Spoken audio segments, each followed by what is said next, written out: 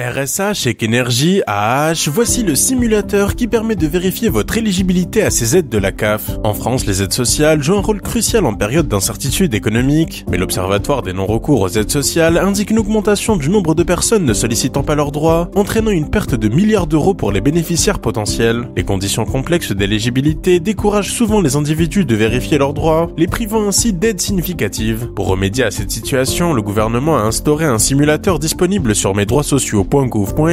permettant de vérifier l'éligibilité à ces aides sociales, le simulateur qui demande des informations personnelles comme le revenu fiscal de référence et le bulletin de salaire, pré-remplit ces données via France Connect pour simplifier les démarches, la plateforme vise à orienter automatiquement les utilisateurs vers les aides auxquelles ils ont droit, elle simplifie également les déclarations trimestrielles de ressources que les allocataires de la CAF doivent effectuer pour maintenir leurs droits, couvrant les salaires, indemnités, pensions alimentaires et dons familiaux. En sensibilisant la population à l'existence du simulateur, le gouvernement espère accroître le recours aux aides sociales et améliorer la vie quotidienne des personnes concernées.